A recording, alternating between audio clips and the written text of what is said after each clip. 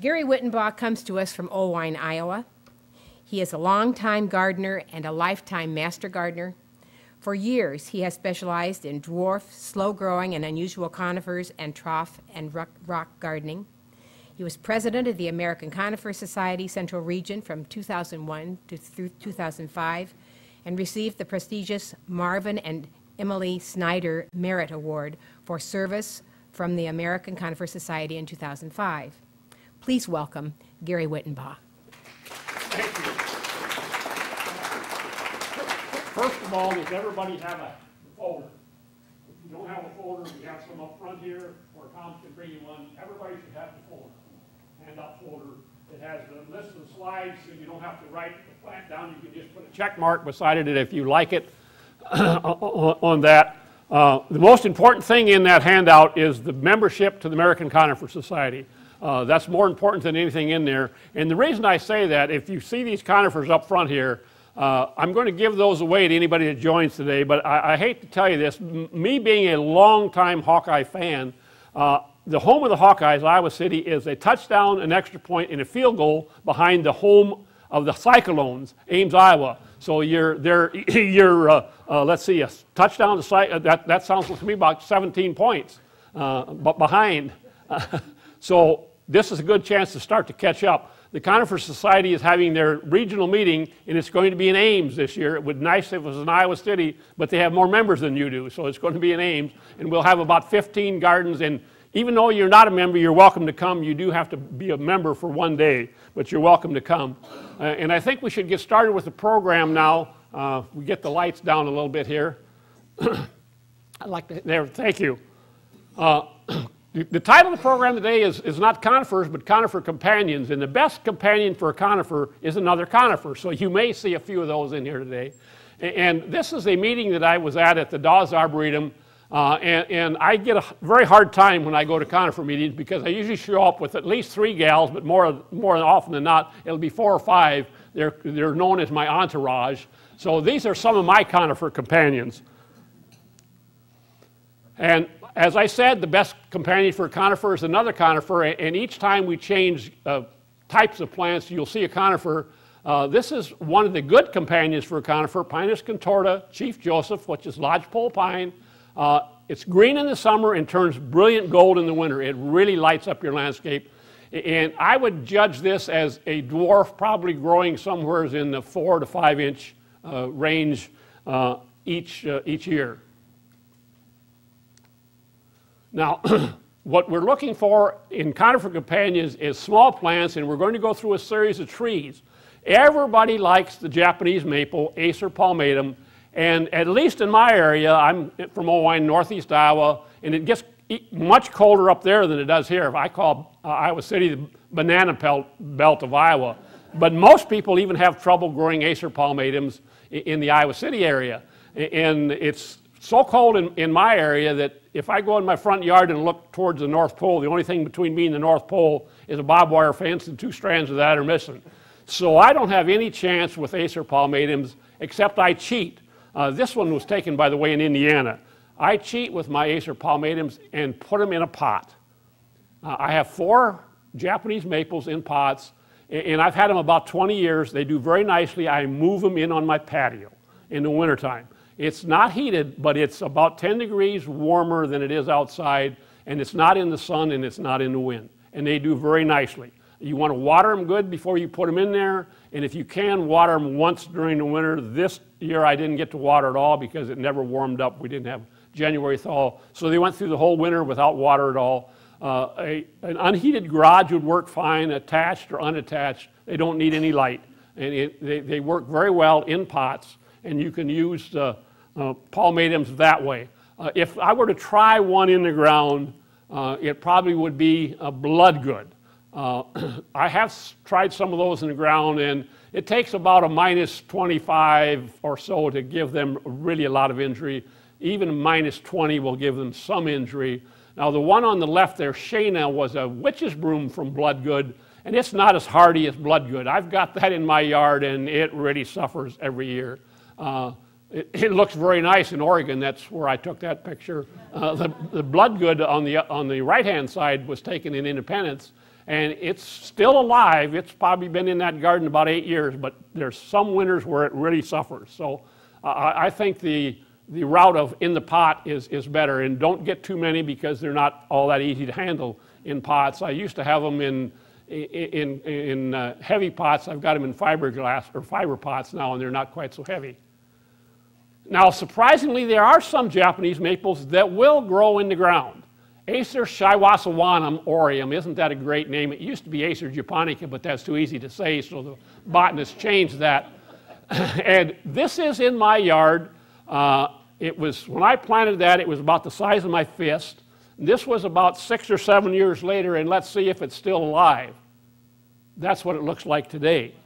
And I have that planted. If I had my druthers on a marginally hardy plant, the place I would like to plant it is on the east side of something.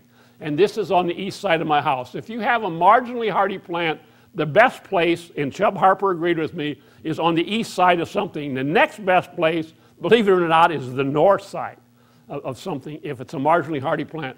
The next worst would be the south side, and the worst probably the west side of the. But I've had this plant almost 20 years. And it's, it's a gorgeous plant. It's a Japanese maple, but not Acer palmatum. But these Acer, this is known as the full moon maple, by the way.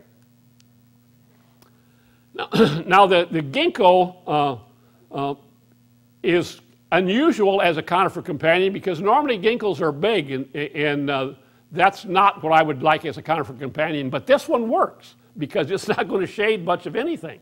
It's ginkgo biloba elmwood, and Mr. Harper came to my garden one day. He said, I know you'd like a ginkgo, but your garden is too small for regular ginkgo. He said, plant this one, it will work.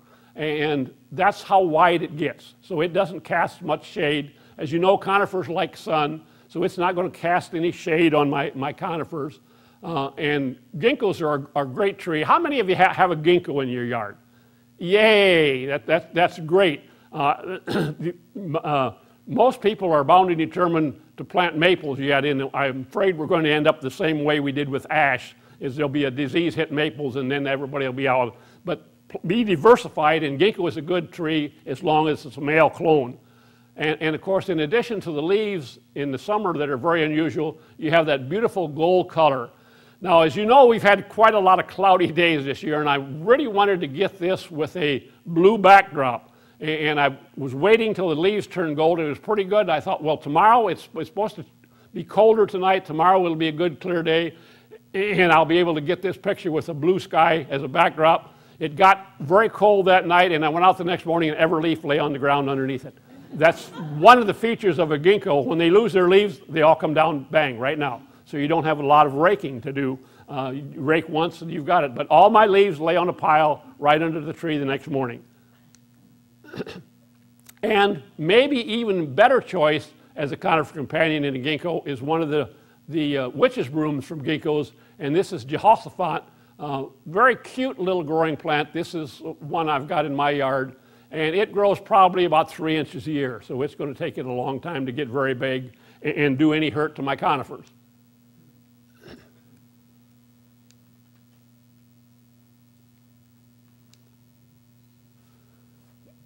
the seven suns flower, Heptacodium miconioides, is another very good small tree.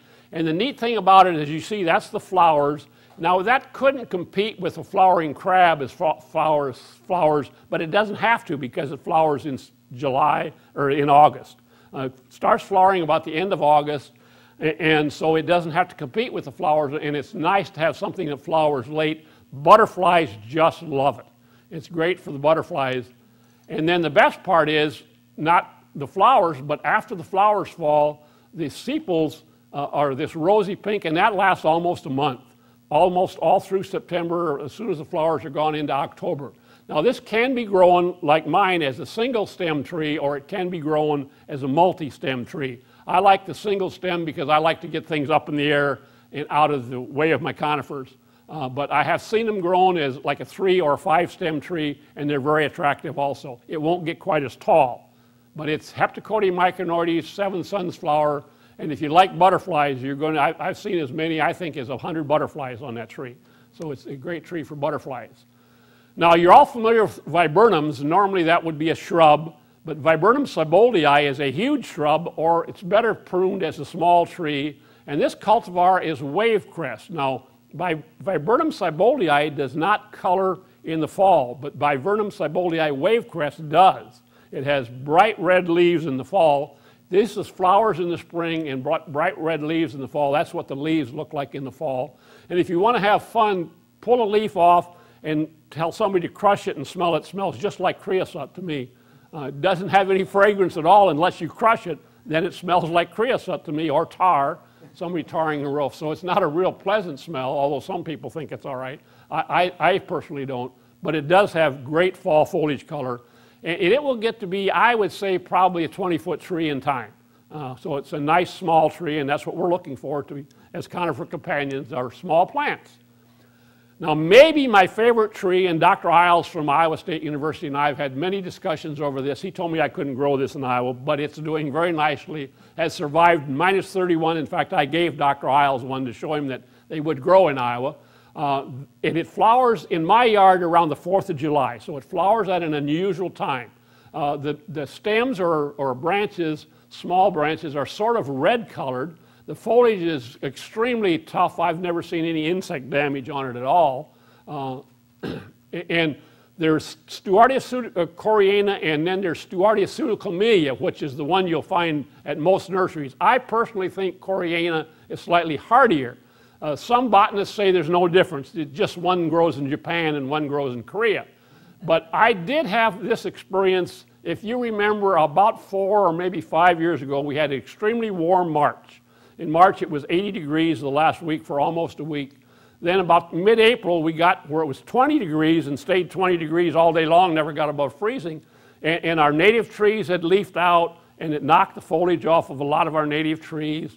And I have my friend Diane in Independence has, I've got pseudocamellia down at her place and I've got koreana at my place. I like to try things out. See, and her pseudocamellia lost every leaf.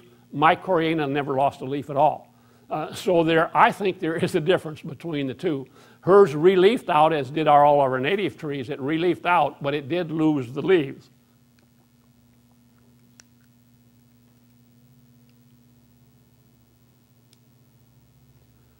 But maybe the best part of this tree is the fall color and the bark. It has exfoliating bark. Isn't that a great word, exfoliating? Why don't we just say peely bark?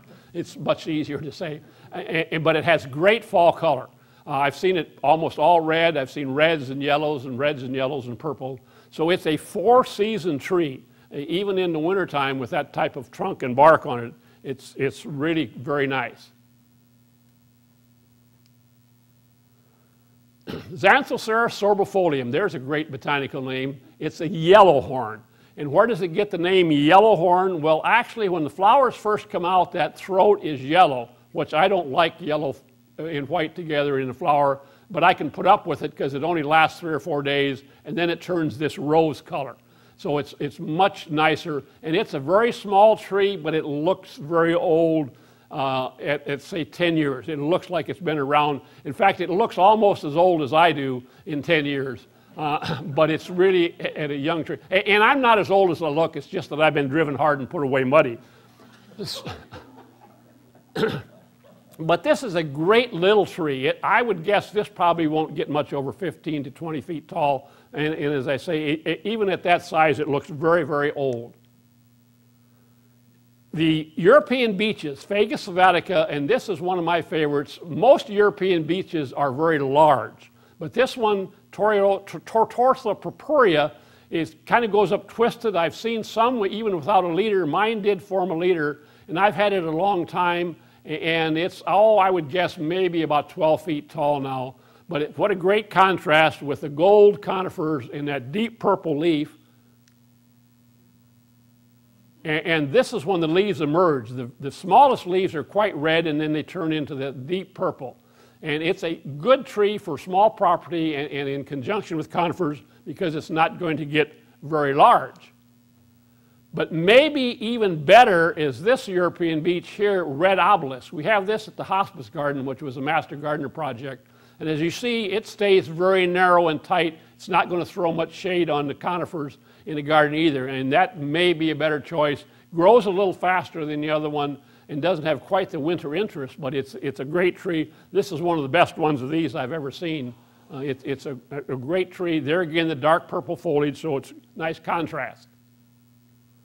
And I hope you're familiar with our, our native fringe tree. This is Chionanthus virginicus.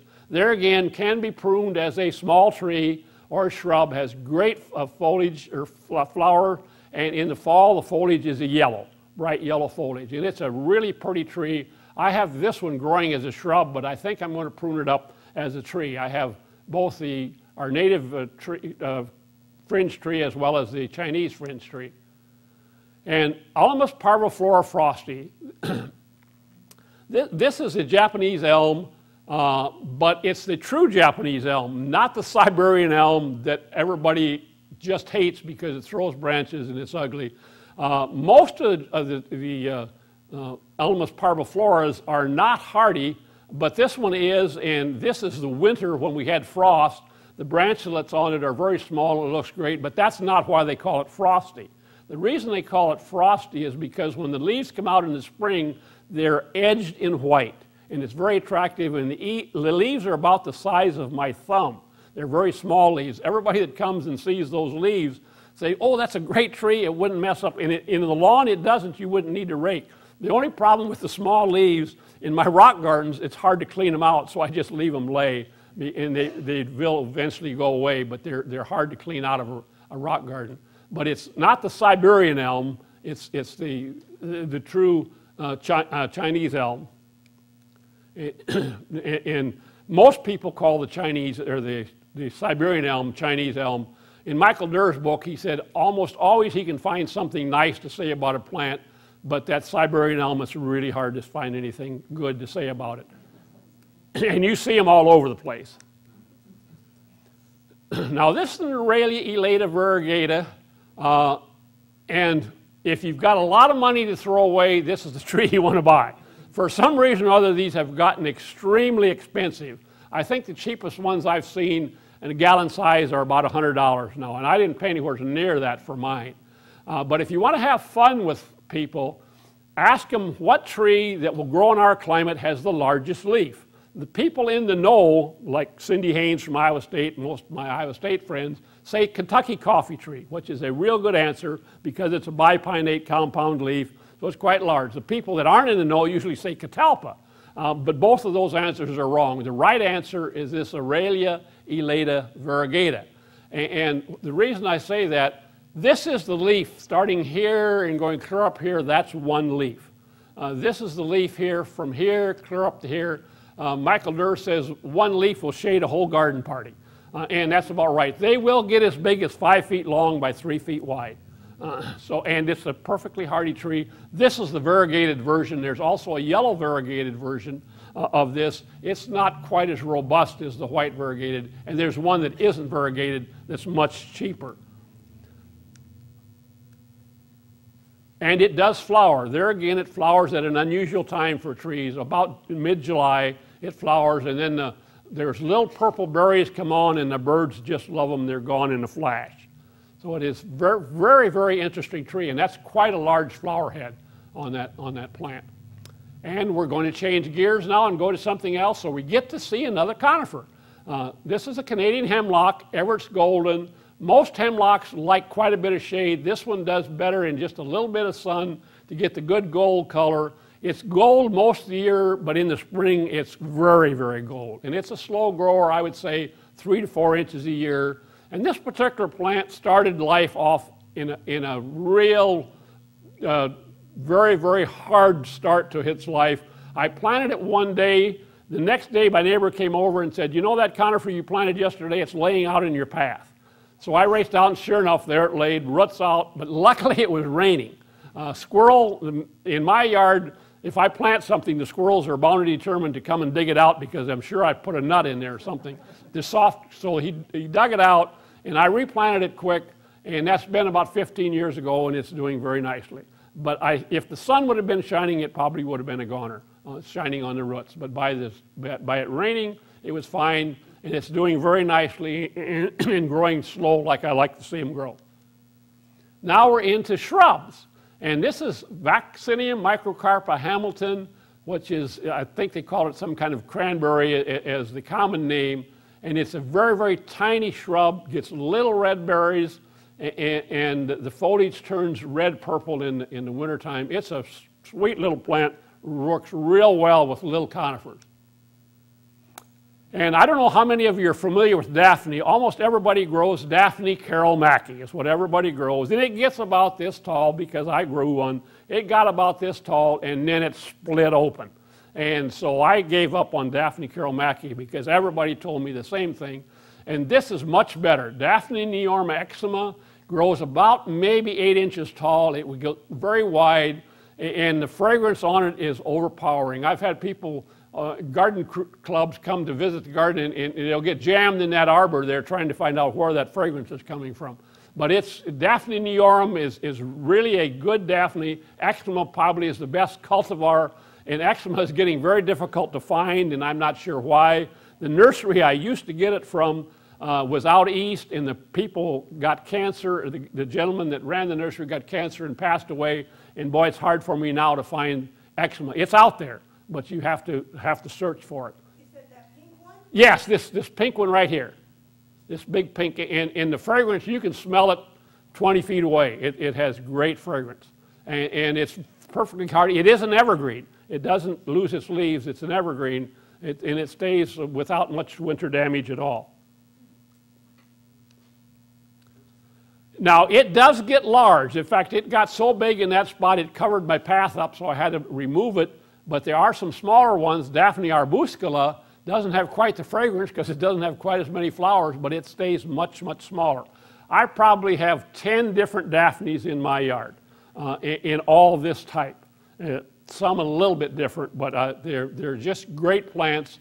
I have a lot of fun growing Daphnes. Most people are afraid of them, but most Daphnes are very hardy. I have no problem. Most of them are evergreen. I have a couple that are not evergreen but I have a lot of them that are evergreen. And this one is evergreen. And I use it in several places in my rock garden because it stays quite small.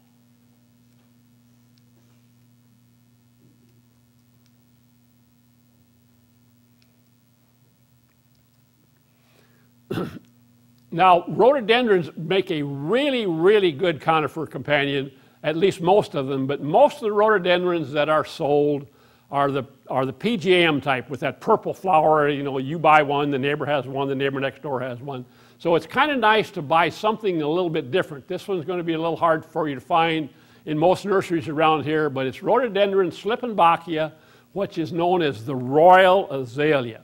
And it does very well in my yard. People told me that I couldn't grow it in Iowa, particularly in Oelwein, Iowa. It wasn't hardy enough. Well, I've had it for 12 years. And out of those 12 years, it's flowered 10 of the 12 years. Two years it didn't flower. One year it was minus 31, the other year was minus 30. Those two years it didn't flower. But I've had it flower at minus 25. So somewhere between minus 25 and minus 31, it kills the flower buds. But if it will flower for me 10 out of 12 years, it's, it's worth the effort. Very nice white with a, a light blush pink to the flower. And it has very nice uh, yellow colored foliage in the fall. And if you notice, the leaves are very unusual for rhododendron. They almost look like a chestnut leaf. Very, very unusual. Now, this is a PJM type, but it's, beside, but it's not the purple PJM. This is Aglo, which is Olga spelled backwards. There's a rhododendron out there known as Aglo, and that's what most people have, but or Olga, and that's what most people or most nurseries carry. Aglo is much better. It's the reverse cross from Olga. Uh, it looks like the flowers are almost double, and I've probably had this 15 years, and it's never failed to flower. Uh, and this one now is, I would say, almost four feet tall, and it's took it quite a while to get that tall, and it doesn't grow all that fast, but it's beautiful every spring. Uh, deep pink, almost looks double flowers. And this is Rhododendron viscosum lemon drop. And this flowers in late July. Somebody said, "A rhododendron flowers in July? I said, yes, there's quite a few. I have another one, parade flowers early July. But this one, I doubt if any nursery around here carries it. And the reason for that is very simple. Most of you people, when you go to the nursery, do your buying in either late April, May, or June. You're not there in July when this would be flowering. So if the nursery person had this setting there in all its nakedity this time of the year without a flower on it at all, and all these other rhododendrons were sitting there with flowers, you wouldn't buy it. And the nurseryman's not going to spend time explaining to you why you should buy this because it flowers in late uh, July he's not even going to stock it because he knows he's going to have to spend time selling it to you. So why not be very knowledgeable and come to programs like this, what you have done. So now you know that there are rhododendrons that flower in July, and the fragrance on this is great. Most rhododendrons that I've had in the spring of the year don't have much fragrance. This does. Uh, you can smell this one probably 20 feet away and it flowers. In my yard, it flowers late July. My parade flowers early July. And the foliage is red when the, it is deciduous. The foliage is red in the fall when it changes color. Now, this is a sweet fern, Comptonia peregrina. This is the catkins that form in the early spring. It looks very oriental with the catkins on there. And then this is the plant. Uh, and you want to plant it near a path so you can brush your hand in it. It has very, very nice fragrance. That's why it's known as sweet fern. Uh, and you'll find this very seldom in a garden. I had a nursery person tour my uh, garden as well as several other ones, and he said he has never seen so many sweet ferns in gardens in his life. He says, great plant, but nobody uses it. And I said, well, that's because they don't know me. And I've, I've made the people that I know plant it. And it is a very nice plant you want to be a little careful where you plant it because it does have a tendency to stool out a little bit or sucker a little bit, but not bad. Uh, I have got this in the corner of my pond, and it's never bothered me at all in, in most gardens where I have it. It's, it's never bothered. This is a native shrub in the east, uh, uh but I think it, it, gets as far west as Wisconsin, but it's a native uh, road ditch shrub actually in some of the eastern states, but it's a great garden plant. Now, maybe for most gardeners, and I hope some of you have this plant, for most gardeners, maybe the best shrub out there is Fothergilla. Fothergilla gardneri. Uh, for a long time, they thought it was hardy only to zone 6, zone 5. It's gone through minus 31. Uh, I tried to buy it from a nursery in Waterloo, and when I called the nursery because I wanted to put one in the hospice garden, he said, Oh, we don't carry them, they're not hardy. And I said, well, that's strange. I've had one for 15 years, and it's going, always say it's warmer in Oelwein than it is in Waterloo. Well, it's not warmer in Oelwein than it is in Waterloo. This has gone through minus 31 degrees, always flowers, never fails to flower. This is in the spring of the year. The flowers look a little like a bottle brush, and the books tell you it smells like honey. Boy, I've tried to get a honey smell out of it. It's very nice, sweet fragrance, but I don't smell honey. But maybe there's something wrong with my nose. Uh, but it flowers this way in the, in the spring. The leaves are not bothered by insects. The leaves stay on, look very, very good. But the fall foliage is the thing. Now, one year my plant was solid gold, which was very unusual. Normally, the, the foliage color is this. Uh, this was last year. Uh, you have reds and golds and purples, and, and it's a, just a fantastic show, and it does this very late. Normally, everything else is done with their fall color when this starts in. So it's a good plant for, for late fall color. they also told me I couldn't grow heaths in Iowa, and I didn't think I could either. I thought I could grow heathers, but I didn't think I could grow heaths. But I kept killing plants until I found some that I grow. I've killed more plants than you can ever think of. but if you don't want to kill something, plant dandelions and creeping Charlie and Canadian thistles, and those won't die. Uh, but it's much more fun. Somebody says, yeah, but I, gee, I hate to spend $30. What if it dies? Yeah, but what if it lives? And by gosh, this one lived. And, and, you know, this has been flowering in my yard for at least the last three weeks. Uh, flowered just fine. It's gone through 20 degree weather, and it's done this last year, the year before that. 20, it's, it's so stupid, 20 degree, it doesn't even know it's cold out. And flowers just fine. The foliage is evergreen, stays evergreen all year. The cultivar on this one is dark pink. And this is the, now this one is a, uh, a heather. And, and, heathers are much easier to grow than heaths. The secret with growing actually either one of these is winter sun, summer, or uh, winter, excuse me, summer sun, winter shade. Uh, if you can plant it, and this is at Diane's, if you can plant it like on the north side of the house, so when the sun is high in the sky in the summertime, plant it far enough away so that it's in sun, and in the wintertime as the sun sinks in the, the, the, the horizon in, in the south, uh, the shade moves out and it's in, in uh, uh, winter shade, it will do very, very well. Now, if you can't do that, you can do something uh, that will still work, and I tried it this last couple years that it does work. Cover them with pine boughs. Straw or leaves doesn't work as well as pine boughs. It, it kind of smothers them. But pine boughs give them enough light and, and yet uh, gives them enough shade that they will survive the winter. Uh, the only downside on these is the rabbits do like the smaller ones. When they get this size, usually the rabbits don't bother them, but I've had rabbit trouble when I first buy small things. I don't have a lot of money, so I always buy stuff really small. People say, well, you're not going to live long enough to see it grow big. Uh, I planted a hickory tree with a nut, and it's uh, about 50 feet tall now, so I, I don't plan on dying until I'm 150. and then maybe not then. now, clethra, I'm sure all of you have clethra. Uh, I, I, love clethras because they uh, flower at an unusual time. Uh, in the spring of the year, everybody thinks they're dead because it takes them so long to leaf out in the, in the spring. So don't, if you're not familiar with clethras and your lilacs are coming and everything is leafing out and this isn't, uh, don't give up on it. It's, it's going to be just fine. Uh, has great fragrance. Butterflies just love it.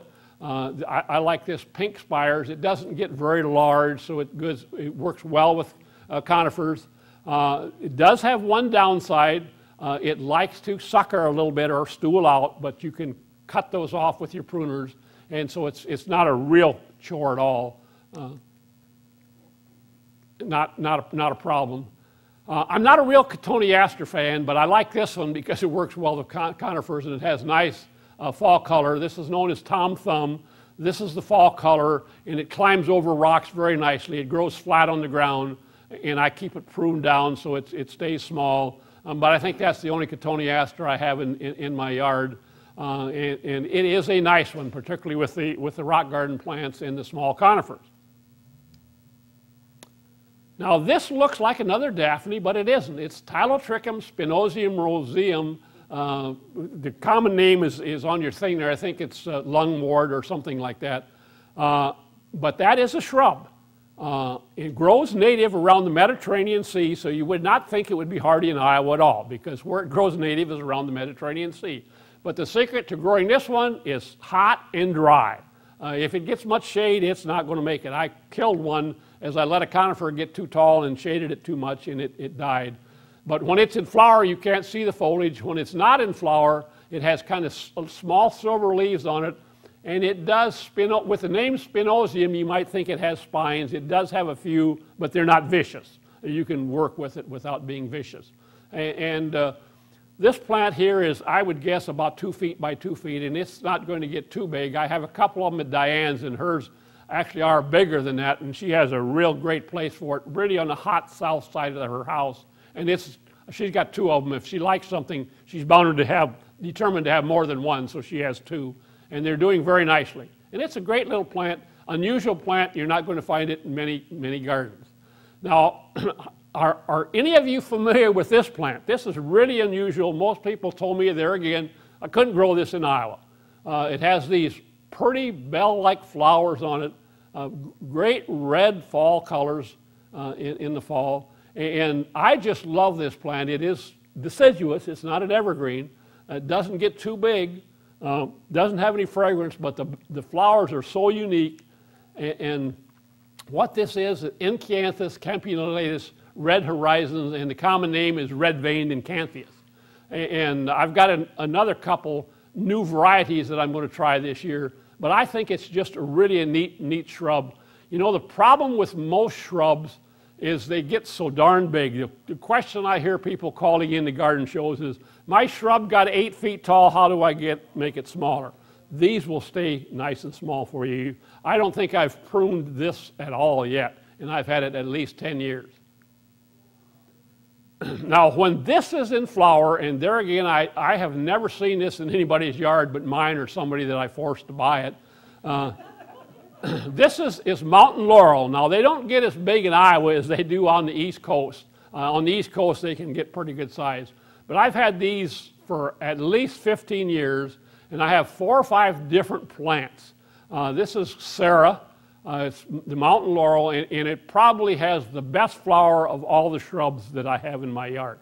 Uh, when I had the garden rendezvous last year, by the way, if you join the Conifer Society, you also get on my garden rendezvous list. And that doesn't cost you anything to come, it's just a trip to, to tour gardens, and we usually have a lunch that might cost something, if, if depending on who's doing it. We usually $5 lunch. But when I had the garden rendezvous last year, uh, it was the 10th anniversary, and we held it back in my yard again because I had held the first one. And these happened to be blooming. And Dennis Hermson from Farley, who was a big conifer person, I thought he was going to have a stroke when he saw these, these kalmias in bloom. I think he took up at least 100 pictures of these. And when they're in flower, uh, it, I almost have dug them out because nobody pays any attention to my conifers when they're there. They're busy looking at the kalmias. And I have probably six or seven different kalmias, and, and I like every one of them. And it also is white ones. There's, uh, there's ones with spots on, there's ones with bands on.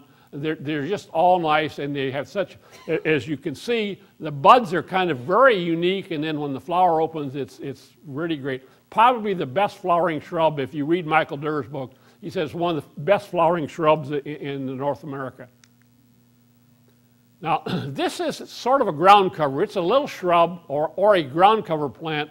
Sabuco, in his book, The Best of the Hardiest, says the landscapers have really missed the boat on this because everybody's looking for that ground cover that will grow in full sun. And then the other half of people are looking for that ground cover that will grow in full shade. So then you're going to have to, well, this one will do just as well in full sun as it does in full shade. I have two of these plants, and I try to keep them from becoming ground covers by not letting them stool down to the ground. But I have one planted in full sun, one planted in full shade, and I see absolutely no difference other than if I look real close, maybe the leaves are slightly smaller on the one in shade. But you have to look really close. And they are evergreen. They never lose the foliage, always look like this. A great ground cover plant or, or small shrub. Uh, I would say probably one of the better ground cover plants because they will work in either full sun or full shade. Now the flower on them is not much. You're, you're growing it for the, the green foliage, but it does flower. There's the flower in, in early spring. It's a tiny little red flower. Uh, so it's, it's, it, it's not much as far as flowering. It's, it's sort of like a hosta flower, you know. The, you grow the hostas for the leaves, you don't grow them for the flowers. Now, I know there's a lot of hosta lovers that might throw sticks at me for saying that, but if you're growing hostas for the flower, I can tell you plants that grow much better to, for flowers. Oh, it's time for a conifer again. I was getting worried there. We wasn't going to have. This is Picea bicolor, and that's a great name. Bicolor, as you see, it has two different colors foliage. Some of it's blue and some of it's green. And this is Howell's dwarf, or you might find it as Howell's tiger, 12, tiger tail dwarf, but you don't need the tiger tail part. And these little things out here, the flowers actually uh, are, are inflorescence. Uh, they're the little cones uh, in the spring of the year. It, what a great color for, for, for flowers or cones. And then on top of that, you have the new growth coming on. So you have the new growth, the, the green growth, and, and the, the red cones. Great little plant, stays very low. It's not going to get not going to get too big. And I just get all excited this time of the year because I know this is going to all take place within the next couple months here now. And of course, the hydrangea vine, which you plant, they say you plant this for your grandchildren. Well, it grows much faster than that. Uh, there are, are a few vines that I have, and they work fairly well with conifers because they go up instead of out, so they don't take a lot of room. Uh, this is uh, my hydrangea vine. Uh, I had it planted, they say they, to plant them in shade, they like shade. I had it planted on the north side of the house and it wasn't doing anything. Uh, so I moved it to the north side of an arbor and it took off and it's doing very well. It flowers all the time, so it looks, looks very nice. another vine that I have, and, and Michael Dirr said he took a group to England and this was their favorite plant, is this uh, Actinidia kolomikta or kiwi vine. And in the spring of the year, the green leaves come out, they start to turn white, and then they'll turn pink. Uh, the only thing I've discovered on this is if we have one of those cold winters where it knocks the leaf, or cold springs, where if after they've leafed out, it, it, it kills the leaves back and it has to leaf out again, second leaf out won't turn variegated. It's, it's just always green, uh, which very seldom happens, but it has happened. And I, I didn't get any white. now, wisterias, will they bloom in Iowa? They will if you get the right one. This is the Blue Moon wisteria. It's, the common name is Kentucky wisteria. This was uh, fr- from Rice Creek Gardens in Minnesota. Betty Ann Addison uh, developed this according to the extension office up in Minnesota. And it always flowers. It never fails to flower. Uh, they're working on a couple different colors, but they don't flower quite as consistently. Uh, and it's a pretty fast grower. They say they won't flower for three or four years or five or six years, but this normally, this one here flowered in a couple years, and another one I got flowered in a couple years. By the way, this is one of the gardens that you will be touring if you come to the Conifer Society meeting in Ames. This is down the road from Ames in Alleman, Iowa, and it's, it's a fantastic garden. Uh, didn't used to be there, but she made the mistake of getting next to me, and somehow she got a big conifer garden out of it. and time to change gears again, enough on, enough on the vines. This is a Serbian spruce called white tops. Uh, it gets so gold that the, the tips turn almost white. They're again great companion for the darker green conifers. And of course, we have hardscape as conifer companions. And maybe the best hardscape you can put in a conifer garden is a gazebo. Uh, framed with a conifer, this is Larix decidua uh, diana, or Larix kaempferi diana, excuse me, uh, framing the, the gazebo. Uh, we like to call this conifer Diane because that's what her name is, is Diane. But it's, it's a, a, a gazebo is a good companion for your conifers. And if you get dealt lemons by make lemonade, here's a tree that died, so let's, let's carve it into, for a conifer garden, this is in Paula's garden again, the garden that you saw the wisteria in. Uh, she had a, a, a fella came with a chainsaw and carved pine cones. Uh, and if you look real close, you can see a squirrel peeking its head around the corner there. He also carved a squirrel on it. So this, if, if you get dealt, if, if life deals you lemons, make lemonade out of it. And of course, there's rock. They're great conifer companions uh, and stone walls, but the, the rock are the, are the big feature here. And uh, the, the plants that are there uh, to the far left is, is Globosa. I always call it the monster because it looks, if you're a Bugs Bunny fan, which I used to be, uh, they used to have this pink thing that ran around and all you could see was its eyes. This was what that looks like. And, and then you have Juniperus procumbens nano over the wall here. Uh, you have Thuja koraiensis glauca uh, uh, here where it has silver underside foliage and an oak leaf hydrangea, which if it was my garden, I wouldn't have an oak leaf hydrangea, but Diane wanted one, so I, I let the girls have their way once in a while. And Diane wanted a fountain, but she didn't want one of those fountains with the big ducks on or the big uh, bears or whatever. She wanted a simple fountain so I said, How about a millstone for a fountain? She said, Oh, that'd be great. Where are we going to find a millstone? I said, Well, we're going to go to uh, Stone City and have them make us one. So I, we went to Stone City with my van and measured how wide my van doors was. And my van door would put four foot through the door. So that's how big that stone millstone is. It's four foot wide by about four inches thick, and it's heavy. Uh, they, they loaded it in my van with a forklift truck, and my van went like that. And we got it home, and we, Diane had somebody come and set that millstone way up here at the top, so there's a little incline. And she said, How are we going to get that down where I want it? And I said, Don't worry about it, I'll do it. And she says, No, you're not going to do it unless I'm here. Well, I didn't really want her there because if something happened, I didn't want to have to worry about somebody else getting hurt. So she had to be gone one afternoon. So when she came back, I had moved this millstone into place. I won't get into how I did that. If you want to know why, you can ask us later. Uh, but I put that on there myself. And when the first time I set it, it was too high. I didn't like it, so I had to lower it down. Uh, but she just loves it, and it does make a great uh, uh, fountain. And two of my other girls had to have, one of them has one, Paula has one similar to that. Pam has four stacked four high. Make a nice fountain. And of course, paths.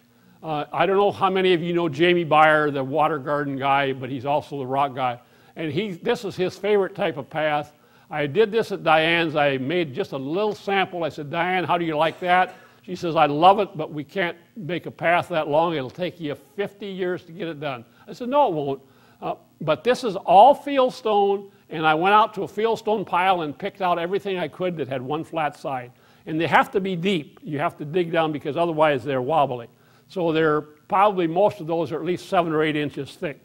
And then I went to the, the pile and, and picked those out. It makes a beautiful path. It's one of the best paths I've ever made. Is, and of course, Paula, she saw it. She had to have one.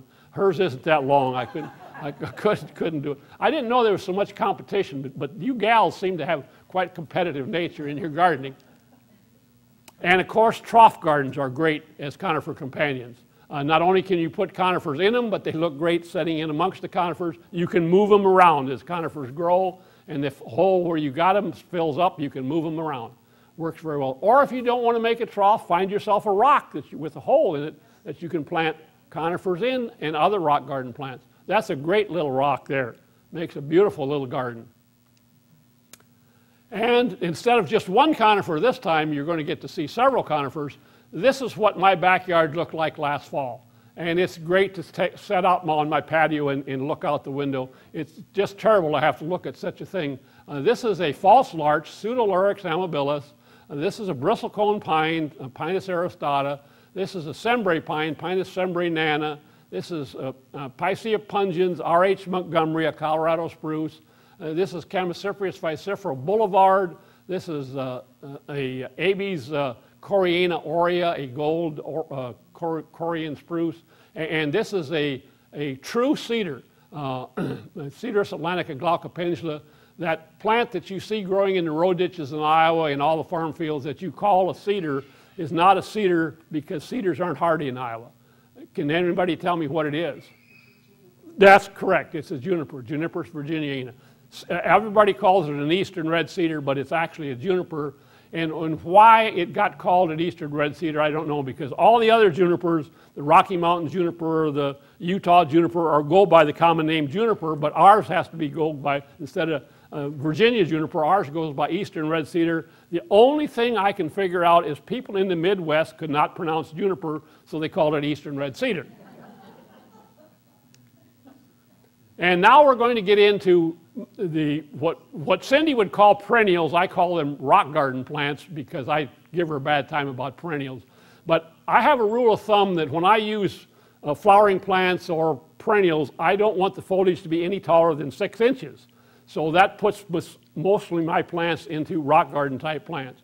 And in Aquilegia, your columbines, you know that big tall thing that you have in your perennial garden, how about one that's only six inches tall?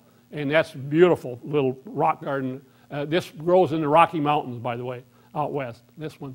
saximontana usually means of the mountains or of the rocks. And then, of course, there's tulips. The regular tulips, uh, the Darwin hybrids and all those get way too big, plus they're basically really only an annual. You want to go with the wild tulips or species tulips. This one is almost too big, but there's some that are only two or three inches tall. This is not bad. This is only about six inches tall. But there's many species or wild tulips that work really great and they're going to stay there forever. They will increase a little, but not, not too bad. And how about some of our native plants? Uh, Sanguinaria canadensis bloodroot. This is in my garden. I just love bloodroot. Uh, it's already blooming in, in my yard. But maybe the better one is this. This is uh, a bloodwort also, but it's a double bloodwort, Sanguinaria canadensis multiplex uh, the only problem with it is if you look in the bulb catalogs at this plant, they get almost $20 for one little bulblet of, of this plant. They're very, very expensive. Uh, uh, there's about $500 worth right there in, in this. This is my yard. I have given some to Diane and Paula because they say there is a chance that this will get a disease and you might lose it, so I want to have it in a couple different places. Um, my patch is getting very large now. I, I just love it. The foliage is much bigger than our native bloodroot, uh, and it lasts a little bit longer. It's, it's a great, great plant. And this is the plant close up. That's the flower. And how anything that white can come up through black dirt, I don't know, but it, it's, it's very, very white. Uh, they're just starting to come out right now. And this is an Aethionema, uh, one of the rock garden plants, really, really nice little, little plant and dianthus, the, the garden pinks, uh, the, the tall ones. There's many, many rock garden plants, three to four, maybe five inches tall, uh, is all the bigger they are, work very well with conifers because they're not going to uh, uh, shade the foliage. I have that six inch rule. I don't want my foliage to be any taller than six inches. Now, Saxifraga is a great plant, sort of looks a little like a Sempervivum. Um, most of them like shade. This one will tolerate full sun.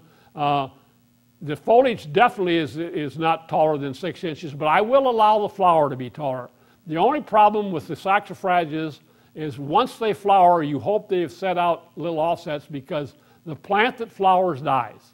The plant that flowers dies. So once this is done flowering, and it takes about eight years before it flowers, I don't plant these for the flowers. The foliage is what I plant them for. Uh, the, the foliage will die, and you, hopefully they will uh, reset, and most of the time they have. But this is one of the saxifrages that will tolerate a lot of sun. This one will not. I have this planted in the shade. Uh, and some of the saxifrages do not die when they flower. This is one that does not. Maybe my favorite rock garden plants or conifer companions in this type of plant is the Sempervivum, and this is a great one, red ace. Uh, Sempervivum, uh, common name would be house leek. I know you ladies like to call them hen and chicks, but that's not near as good a name as Sempervivum. I don't know if there's any Marines here. If you're familiar with the term Semper Fidelis, um, or Semper Fi, always faithful is what that means. Sempervivum means always alive. And that's true. They're 12 months of the year, they'll be doing something. Normally, this time of the year, they change color quite a bit. Uh, and it depends on what kind of soil they're growing in, how much water you've given them. This red ace, everybody that comes, can I have one of those? And so my pile, my plant never gets very big because I'm always giving somebody one of those. And if, if you're a gardener, you also might have another hobby, and Paula has another hobby. She's a quilter. So I said, How would you like a quilt in your garden? She says, A quilt in my garden? How can we do that? So this is her garden quilt with sempervivums. Uh, made, uh, found little thin lime rocks, made the quilt squares, and these will fill in and cover most of those little squares. So that makes a nice little, you can do a lot of different things with, with sempervivums. Uh, the only problem with, with hen and chicks or sempervivums is that there again, the chick that flowers is going to die, and they have uglier flowers by far than the hosta does. Uh, they not, not many flower, but they do. Uh, and there's one or two, just like hostas, there's a few that have fairly decent flowers. There's a few sempervivums that have fairly decent flowers but mostly not. And there's almost as many cultivars, probably more, of, of sempervivums or hen and chicks than there are hostas. There's hundreds and hundreds of cultivars. Of, and, and there's an example, this is in one of my pots, of, of the different colors and cultivars of, of sempervivums, from big ones to small ones, from red ones to yellow ones to green ones.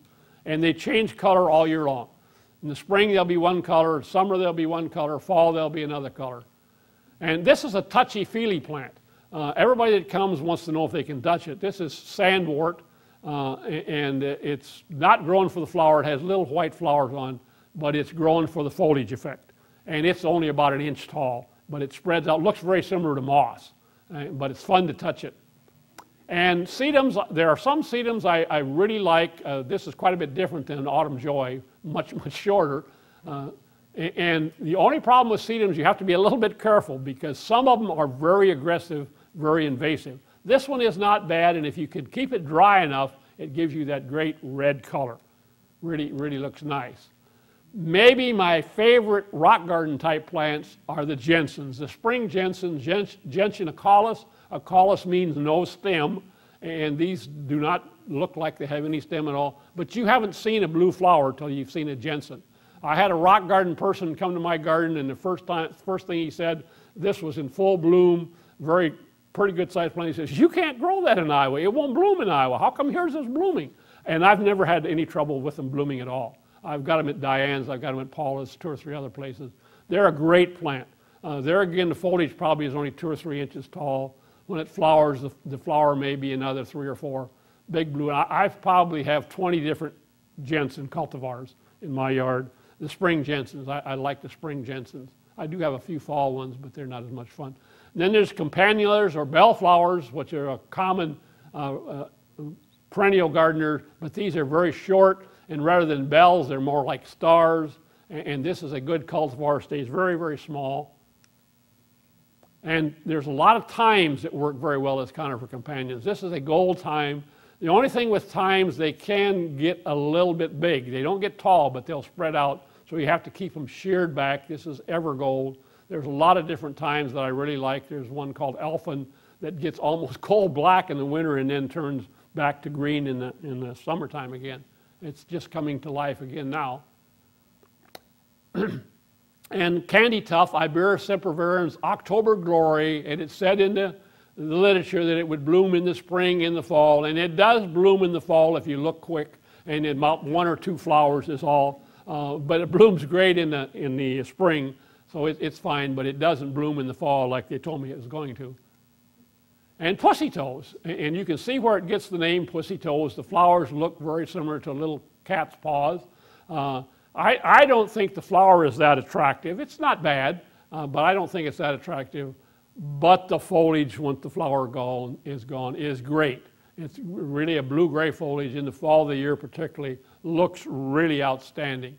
Uh, so they're a nice plant and they, they can take a lot of dry the reason rock garden plants and conifers work so well together is because neither one of them like a lot of moisture. Uh, so they work, and, and a lot of perennials do like a lot of moisture, but rock garden plants do not. So they work very well together with, with conifers. And of course, veronicas, you know, your great big tall perennial veronicas, there, there's some that are very small. This one, there again, the foliage probably is only two or three inches tall. On this one, the flowers are not much taller than that. It's a, a, really good companion for conifers because it doesn't get so tall. And believe it or not, cactus work out well. There again, they don't like it wet. Uh, and, and, some places, like next to the foundation, under your eaves, nothing grows well, but cactus grow very well. Now, believe it or not, cactuses are hardy in Iowa, uh, particularly the opuntias or prickly pear, but they're very aggressive. You want to have a big area to grow prickly pear, so I try to grow the barrel cactus, which this is, uh, there's quite a few hardy barrel cactuses, more of the ball cactus, which this is, uh, and they're not near as aggressive. They, they don't try to take over everything. But I, I, the last book I was reading on, on cactus, it said that there are native cactuses in every state except two, and they were out east, which I was surprised. Uh, but there are native cactuses in Iowa, which they are puntas uh, type. I get most of my cactus from Intermountain Cactus, and I've got a new place that I get, get cactus. If you want to get into cactus gardening, I have a whole area I call Monument Valley that's in the, I'm in the cactus gardening. Uh, John Spain, Growing Winter Hardy Cactus is probably the best book out there. It's a small book, not very expensive. And he goes through and tells you what cactuses will always live, what sometimes live, and what's never live.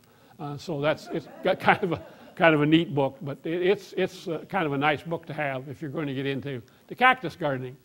And, and to keep Cindy placated, I, I don't know if, how many master gardeners are here, but Cindy Haynes is the perennial gal at Iowa State. And, and she, uh, of course, to keep her happy, I, have got her into rock gardening and conifers now too. But to keep Cindy happy, I still do have a few perennials. I started with uh, annuals and then I got into perennials. And this is one of my favorites because it has blue flowers. My brother used to say when people would come and they wanted to know what color the flower was going to be, he said, probably blue. Uh, that's the only thing he plants is plants that have blue flowers. And, this flowers late and has very nice red foliage. Uh, Cindy told me it was marginally hardy, but I've never had any problem with it. And, and I've got it in a couple other gardens and, and no problem with, with hardiness. Uh, this is one I almost had to get rid of because there again, when conifer people, even conifer people come to look at the garden, and this happens to be blooming. Everybody pays no attention to anything with this plant here. They have no idea what it is. It's Indian pink or Spigelia marilandica. Uh, it's a, a, woodland plant out east, and it's on the endangered species list, so don't get it from somebody that digs plants from the wild. Buy it from a reputable nursery. And I have a couple uh, sources there on, on your handouts but it's, it's really a neat plant. In fact, Cindy used a, this picture in one of her uh, books she has down at, uh, at Iowa State, one of the pamphlets she has on perennials for shade, I believe. And there again, this is supposed to be marginally hardy. Uh, I used to be very careful and mulch it all the time. I did mulch it this year, but most of the years I never get around to mulching it, and it seems to be just fine. And I do use grasses as conifer companions, but not the real tall ones this maybe is my favorite grass for a conifer companion. It's prairie drop seed. It, it's not very large, and the, the flower seeds or heads on it are, are very open and airy, and I like it real well. I do have some other grasses, but I don't have them in amongst my conifers. I kind of have them separated. And I discovered again this spring that grasses are great, but they're a lot of work uh, unless you can burn them because you have to cut them down. And it took me one whole day to get my grasses cut down. And it's, it's, a, it's a lot of work. I work very slow now. and, and, this is what it looks like when you put it all together.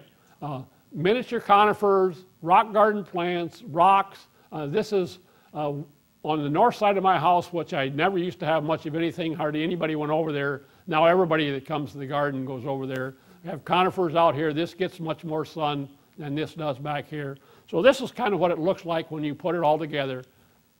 And of course, the, maybe one of the best companions for conifers is snow. There's hardly any plant out there that works as well with snow as conifers does. This is my friend's Chub Harper, who passed away about a year and a half ago. His yard when he had a lot of snow. And boy, the last few years we've had a lot of pictures like this with, with snow on the conifers. And as a closing, I will remind you that the ACS Central Region meeting is June 17th and 18th at Gateway Hotel and Conference Center in Ames, Iowa. And I would have liked to have it in Iowa City, but they have 17 members and you have seven. Thank you so much for coming.